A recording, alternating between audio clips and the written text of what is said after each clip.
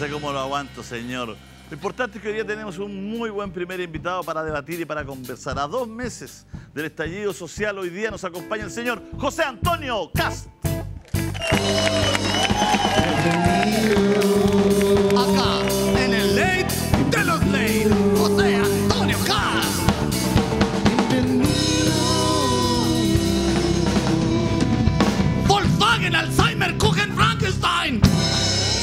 Suben, Strugen, Apetugen, Bajen. Eso.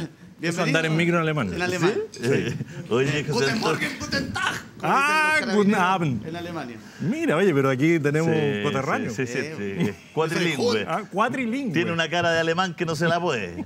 No, no lo enfóquense ahora. Sí. Justo, justo ahora no lo enfoque. Tiene una cara de alemán, palma que no se la puede. Completo alemán, Eh, completo eh, José Antonio, justo hoy se cumplen dos meses de que partió el estallido social que, que bueno, nos ha tenido en, la agenda más que nunca noticiosa del país temas políticos, ¿no? Que a veces son desplazados y que, y que han estado en, en- la agenda y, y tratados por todos los medios de las personas. Partamos por una reflexión grande. A dos meses del estallido social, el presidente Piñera habló, ah, hizo una columna para, para un importante periódico extranjero, digamos.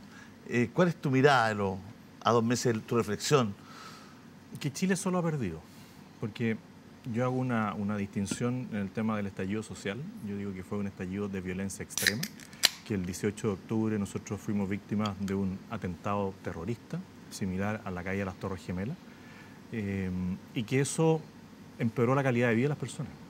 Si nosotros miramos cualquier índice, a veces los números eh, son fríos y duros, pero detrás de esos números hay personas. Cuando hay 100.000 personas que perdieron su trabajo y el ministro de Hacienda nos dice que puede llegar a 300.000 personas eh, en un mes, nosotros nos deterioramos como algunos países se han deteriorado en 3, 5, en 10 años. Porque Chile es un país frágil, es un país que iba camino al desarrollo, pero no tenemos recursos naturales como puede tener Venezuela, Arabia Saudita, incluso Brasil. Nosotros somos frágiles eh, y esto eh, sufrió un golpe, es como un choque eh, y tú pierdes el auto completo. Aquí nosotros estamos a punto de perder el auto completo si es que esto continúa eh, en esta incertidumbre, porque primero fue la violencia, los saqueos, las barricadas, pero hoy día viene algo peor, que es la incertidumbre y la falta de seguridad jurídica. Cualquier persona que hoy día mira Chile, desde el exterior, dice, bueno, voy o no voy, si es que viene a hacer turismo, y si es que va a invertir, dice, bueno, yo voy a esperar a ver si sale el sí o el no, y si con la nueva constitución, si es que saliera el sí, eh, yo voy a tener certeza de que lo que voy a invertir va a seguir siendo de propiedad del inversionista o me lo van a expropiar. O sea, tú dices que los grandes inversionistas están esperando, van a esperar prácticamente un año o Yo creo más que dos. hasta, hasta, Si es que- hasta si es que- ver si es por que- dónde va la nueva constitución. Claro, o sea, yo eh, estoy jugado por el rechazo el 26 de abril y creo que sería un buen momento de decirle a las personas que están pensando en invertir que si gana el rechazo, Chile vuelve a tener certeza jurídica. Puede que a algunos les guste esa certeza jurídica, pero sí se puede modificar la constitución en base a los mismos planteamientos que hoy día están en la constitución. Pero esto no solamente Pero los Chile grandes nunca la va a perder. Aún con nueva constitución, siempre va a regir la constitución actual, hasta el último día. ¿no? Es que hoy día está todo en duda. ¿Te fijas? Porque los dos tercios para allá, los dos tercios para acá, que la paridad, que los cupos reservados. Está, ya, la, ya- incer- ya- ya voy a ir allá. está la incertidumbre que tú no sabes si eh, cuál va a ser el acuerdo final y qué es lo que se va a llegar a votar en abril. Lo que sí sabes es que van a tener dos años donde no hay certeza de cuál va a ser el texto final que va a regir si es que gana el sí. Y no solamente los grandes inversionistas, las personas que nos están viendo, y hay un millón de personas que en Chile tienen ahorro previsional voluntario. Aparte de la cotización obligatoria, hay personas que ahorran en su cuenta individual eh, y más allá de que no les, no les guste el sistema, usan los beneficios que el sistema da. Bueno, ¿eso va a seguir así o va a pasar lo mismo que pasó en Argentina? Que alguien dice, oye, vamos a ser solidarios con el otro, por lo tanto tienes que entregar tu ahorro voluntario porque tuviste ventaja por sobre lo que podían tener otras personas porque tenías un sueldo más alto. El que tiene dos casas o tres casas, le van a decir, oye, ¿por qué tú tenés dos casas?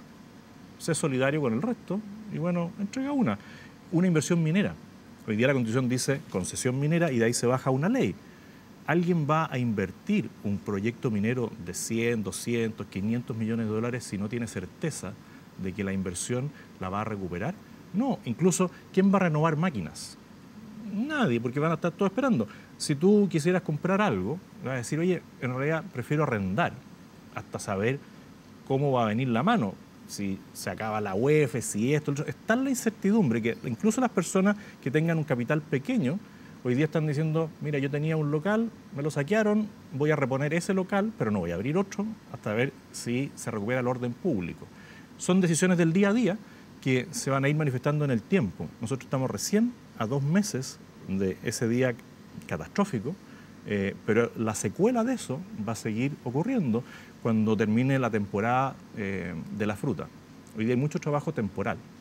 Bueno, ¿Qué va a pasar en abril, en mayo, cuando esa, esa fuerza de trabajo que hoy día recibe una remuneración, no puede discutir si es buena, si es mala, todo lo que uno quiera, pero hay trabajo.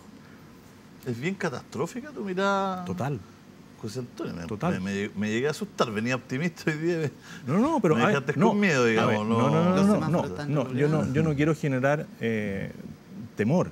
Yo Estoy soy, que despido al de la 2 y de la 4, porque además está medio fuera foco. Sí, Ah, porque yo como soy- viene la cosa, yo soy, eh, yo soy, dejen no, la yo soy- boleta. no, yo soy, yo soy, póngale el control remoto a las dos cámaras. no, no, no, no, yo soy realista y sí llamo a que hay un cambio de actitud y sí creo que cuando hay crisis hay oportunidades. Pero el llamado es, primero, a que sepamos cuál es la realidad. O sea, primero decir cuál va a Pero, ser pero, pero está tu la mirada, realidad. José Antonio. Sí. Está la mirada de lo que dicen que de, esta, de este estallido social, de esta situación, debe salir un país mejor, un país más equitativo, un país más justo, que había un reclamo, sí, en la ciudadanía en general, incluso de las clases medias, incluso de las clases medias acomodadas, ¿no es cierto? Que en Chile todo el mundo es de clase media. eh, eh, eh, en, en- en un O sea, sentido hasta de el que tiene muchos recursos se dice que es clase media. Clase, clase media acomodada, por eso, pero por eso te hago el distingo ahí. Estamos en un debate aquí. con Sí, este- estamos ahí en, el- en la clase media acomodada. Lo que te quiero decir es que incluso profesionales, profesionales jóvenes, eh, eh, profesionales bien acomodados, con buenos cargos, que tienen varios hijos, ¿no es cierto? Se sienten acogotados, sienten que el sistema está con un tema de tarifas importante, de, de desequilibrios en, en- en- en distintos ámbitos de, de la cotidianidad de las personas. Entonces, sí hay una unanimidad incluso en muchos sectores que el país estaba eh, eh, de una u otra forma asfixiando a los ciudadanos. Y ahí es donde muchos dicen, eh, de este estallido social, de esta situación de cultura, hay que sacar un país mejor, que se pueda seguir creciendo, porque, porque no sé tú, pero yo nunca no he escuchado hasta acá a nadie, bueno, no ser muy tostado, que pida un cambio de modelo, ah, que, que quieren que llegue un sistema chavista comunista. ¿no? La gente lo que ha salido a la calle precisamente a pedir, oye, ¿sabéis que la luz, el sueldo crece el 2%, la luz sube el 20%? eh, el, el TAC nosotros ganamos acá y sube el 3,5 todos los años, ya un partido. eh, está- no estamos conformes con, lo- con la FP porque mira lo que están sacando los abuelitos. O sea, son situaciones que no son, Son reales. no son descomunales tampoco. No. Entonces, tú no estás porque quizá este remesón genere un Chile cuando se pare, ¿no es cierto?, con algunas cartas del juego un poco más justas.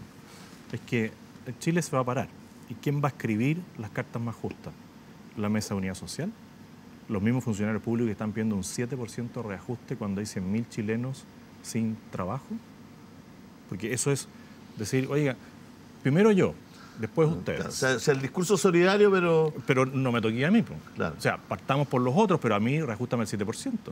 Son personas que el gobierno les dijo, miren, los que tienen un ingreso sobre un millón, un millón y medio, eh, el reajuste no va. Y para abajo damos un 2,8. Bueno, esas mismas personas son las que paralizan el país. Las mismas personas que cuando hacen sus llamados aumentan eh, los hechos violentos. Eh, para ti eso es una inconsistencia. Total. Y mira a los parlamentarios que levantan la voz. O sea, hoy día las voces más fuertes vienen del Frente Amplio y del Partido Comunista. Más allá de que el Partido Comunista eh, sí ha reconocido y sí avala regímenes como el chavista, yo no soy tan tremendista. ¿ah? Y no quiero sacar aquí el fantasma de Chávez, de Maduro. Están ahí y la gente lo puede ver. Pero es cosa que vayamos al frente, aquí al lado de la cordillera, Argentina, que ya van a subir los impuestos, lo más probable que hagan otro corralito, vamos a ver lo que está pasando en Perú, veamos lo que pasa en Bolivia, lo que pasa en Ecuador. Bueno, esa es la realidad donde estamos. Muchas personas pensaban que era cierto esto que éramos los ingleses de Sudamérica y que casi estábamos en una isla. No, estamos en Sudamérica. Y nuestro entorno dice más o menos a dónde van a ir nuestros líderes. Y con una derecha que no ha tenido la fuerza para defender eh, ciertos principios, valores, no tiene convicción. Cada parlamentario de los que yo veo ahí, que a veces se salen de la sala, que se abstienen, dicen, yo quiero mantener el sillón, pero para mí. Yo soy buen diputado de oposición y de gobierno. Bueno, uno no puede estar a los dos lados de la vereda. Uno a veces tiene que generar una discusión con el otro razonable, eh, de ideas, no de, insultos, no de agresión. Pero aquí hay algunos que no quieran dar ni la pelea. Hay diputados que yo no he escuchado eh, en, este, en estos dos meses decir nada. Tratan de pasar colado. Y esta es una situación que requiere que las personas digan lo que creen de verdad, si la gente está cansada de la mentira. Ayer me tocó estar con una persona y me decía, pero ¿cómo cambiaría usted? ¿Cómo cambia esto? Diciendo la verdad. Diciendo la verdad. Sí, a mí también se me hincha la vena con el TAC. Yo vivo fuera de Santiago, me tengo que comer el taco todos los días, antes del 18 de octubre. Y decía, y la hora de más taco, más caro. Bueno, ¿eso se cambia con la constitución? ¿Va a cambiar cuando haya una nueva constitución? No va a cambiar. Va a cambiar para peor. Eh, el tema del ahorro provisional de las AFP va a cambiar si ponemos un sistema de reparto donde pueden haber personas que son grandes personas, muy simpáticos, pero, que no tienen Dios para el piano. Antonio, pero yo, yo no sé lo que hay que hacer porque no soy especialista en la materia. rechazo. No, no, no, no soy especialista en la materia, José Antonio, pero sí entiendo que la AFP no cumplieron con la promesa final. Pero si yo no te voy a discutir. No, no, no, no, pero, pero, eso entiendo. Pero entiendo que todos, como chilenos, todos los ciudadanos, queremos que nuestros abuelos salgan, ¿no es cierto? Nuestras personas mayores, nuestros adultos mayores, salgan con un porque, si no lo va a tener que suplir el Estado. No, o tu familiar, Mon Lafer, sale llorando porque su madre no tiene previsión. ¿Cuánto gana ella? ¿Cuánto le van a pagar por el Festival de Viña? Ella no podrá darle un 10% de lo que le van a pagar en el Festival de Viña a la mamá o vamos a esperar a que el Estado le dé todo. No, pero esa cosa, ¿quién se atreve a decirla? Porque ¿quién quiere agarrarse con Mon Lafer? Nadie. No, pero es que, pero, perdón, perdón, yo no quiero defender a Mon Lafer, pero es que canta bien. Sí, no, no, pero, pero, pero, pero si partimos de la solidaridad particular de cada hijo, de cada primo, de cada tío, estamos en un país que no tiene no tiene esencia, no, pero tiene vamos para atrás. No, no tiene, no tiene piso. O sea, yo entiendo que si alguien está bien le ayuda a los papás y pasa hoy día en Chile todos los días. Sí. Y yo entiendo que Mon Lafer seguramente eh, eh, eh, apañará a su mamá y la chocheará y le entregará de todo lo que, lo que ella le da pero, pero, pero así no se construyen los países, digamos. O sea, no lo veo usted siendo, presidente, de la, siendo presidente de la República o siendo candidato y diciendo vamos a solucionar el problema de las pensiones con todos los hijos que ayudan. sería sería un chascarro. el 10% de su sueldo para que ayuden a su familia. Sería un chascarro mundial, pues, José Antonio. Sería un chascarro mundial. Primero hagamos que los hijos sean solidarios con sus padres, que los criaron, porque los hijos le requisaron más del 10% pero esos son a sus temas personales, pues. No, pero ya, son pero crianzas vamos, personas, historias personales. Vamos, hay, hay, hijos que, no, a la que no quieren a sus papás derechamente. Vamos, a la realidad. Lo que te quiero decir yo y yo te entiendo lo que tú dices. Hay muchas cosas que se solucionan en Chile con las situaciones personales, la gente que está mejor ayuda a la gente que está mal. Estamos bien. Y hay miles de casos así. Y yo entiendo que, lo que tú dices no es una locura, es una realidad que pasa en Chile todos los días. Pero mi punto es que ese no puede, así no podemos formar el país. Yo sí estoy de acuerdo contigo. Son excepciones. No, yo estoy de acuerdo contigo. Lo que estoy diciendo es que hay personas que no conociendo cómo funciona el sistema, ni valorando nada del sistema, lo critican y dicen, en otros países hay algo mejor. Entonces, lo primero que yo les digo, dime en qué país hay algo mejor que con un sistema como este no esté quebrado. Eso es lo primero, porque todos los países que tienen sistemas de reparto, donde yo pongo un poco y saco lo que necesito, no funcionan. El Estado en Chile no tiene los recursos para decirle a cada uno de las personas que se van a jubilar, yo te voy a garantizar un piso de 600 mil pesos. No lo tiene. Nos encantaría a todos que fuera así. ¿Quién se echa a decir la verdad? Nadie. Todos los candidatos cuando van a hablar con adultos mayores le dicen, yo le voy a duplicar su pensión. Y eso la gente la tiene cansada. Lo que yo tengo que decirle, mire, yo voy a hacer, voy a achicar el Estado, voy a evitar lo más que pueda la corrupción, voy a optimizar los recursos que tengo, voy a mejorar la gestión en salud, voy a mejorar la gestión en transporte público, para que usted, a lo mejor si no le subo la pensión, va a tener transporte público gratuito sobre los 60 años. Yo a lo mejor no le puedo arreglar toda la salud, pero en vez de que usted vaya al consultorio a buscar su remedio, yo se lo voy a mandar a dejar. Y así tú vas mejorando la condición de vida. Todos los adultos mayores que pagan contribuciones, le diría, ¿sabe qué más? Usted no tiene por qué pagar arriendo por su casa. Usted ya la pagó con sus impuestos. ¿Por qué tiene que seguir pagando contribuciones? Muchos dicen, yo no pago contribuciones. Bueno, la basura. Usted no va a pagar basura después de los 60 años, pero también tienes que decirle a los que nacen en el año 2000 que ya no van a jubilar a los 60 o 65, porque tienes que hacer móvil eh, el año de jubilación porque la expectativa de vida sube. Hoy día en Chile tenemos expectativa de vida de 78, 80 años. Bueno, antes tú tenías expectativa de vida de 70 y jubilabas a los 60, financiabas 10 años. Hoy tienes que financiar 20. Esas cosas que son de sentido común nadie las dice, porque nadie quiere ser el pesado de la fiesta. Pero tú hoy día le puedes decir al que nació el año 2000 que va a tener una condición distinta para jubilar porque el Estado no va a poder darte las mismas condiciones que tú tuviste. Pero también tienes que decirle a las personas que si es independiente, si usted trabaja en la feria libre, si usted trabaja en un colectivo, si usted trabaja en un taxi, bueno, tiene que ahorrar parte de lo que gana todos los días. Si usted gana 20 mil pesos todos los días, bueno, haga el esfuerzo de ahorrar entre 500 mil pesos para su jubilación, para complementar lo que le dé el Estado a través de la pensión básica solidaria.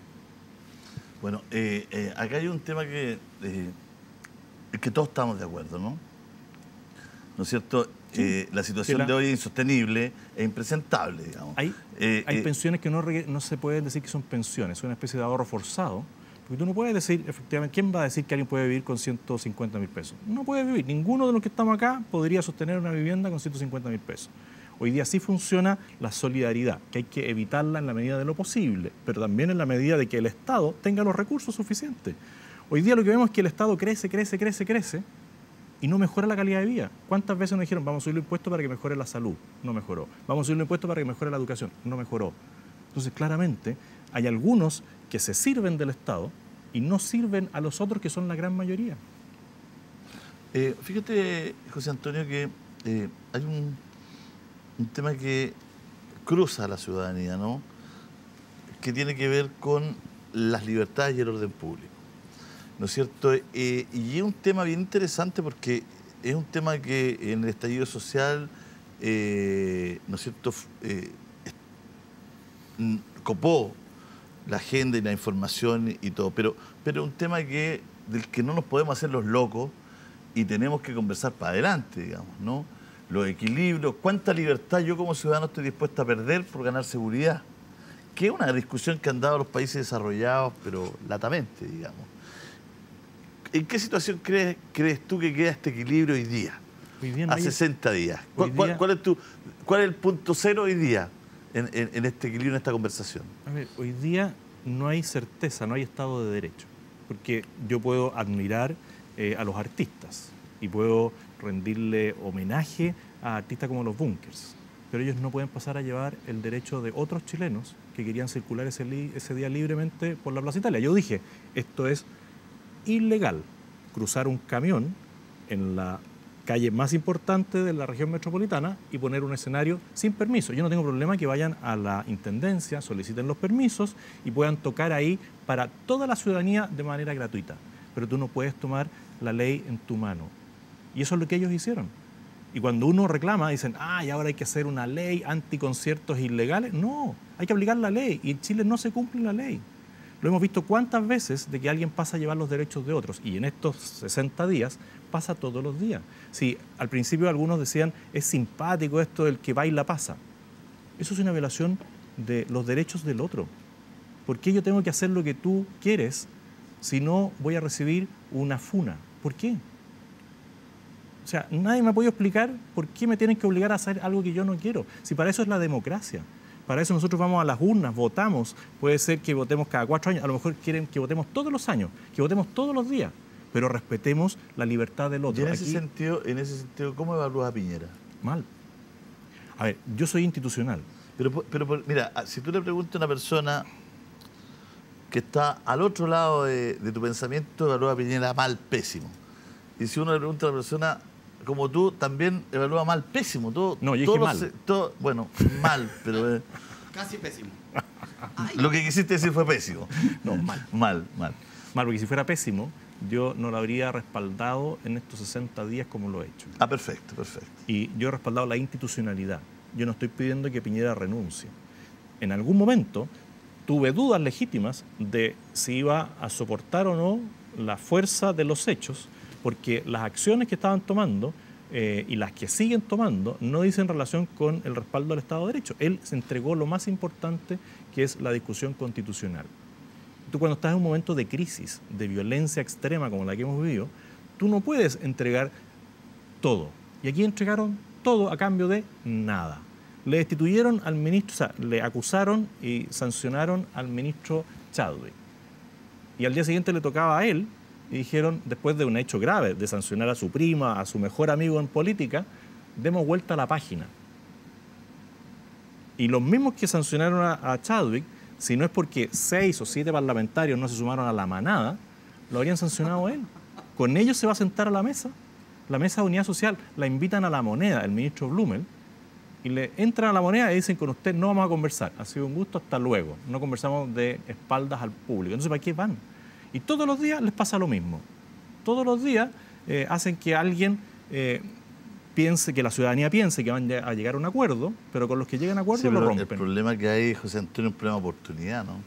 Eh, la mesa social está siendo invitada en el día 50 del estallido social en, Colombia, en otros países, se juntan los primeros días. La oportunidad no siempre va de la mano con la convicción y con la verdad.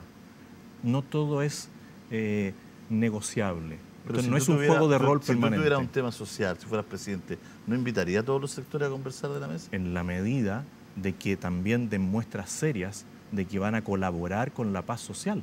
Si llaman a paro todas las semanas, eso no es colaborar con la paz social. Si justifican que después de las marchas pacíficas ocurran todos los desmanes, eso no es una, eso no es una oposición constructiva. dame solo un segundo. Vamos a ir a Parque Automotriz Cabrera y vamos a volver de inmediato con José Antonio.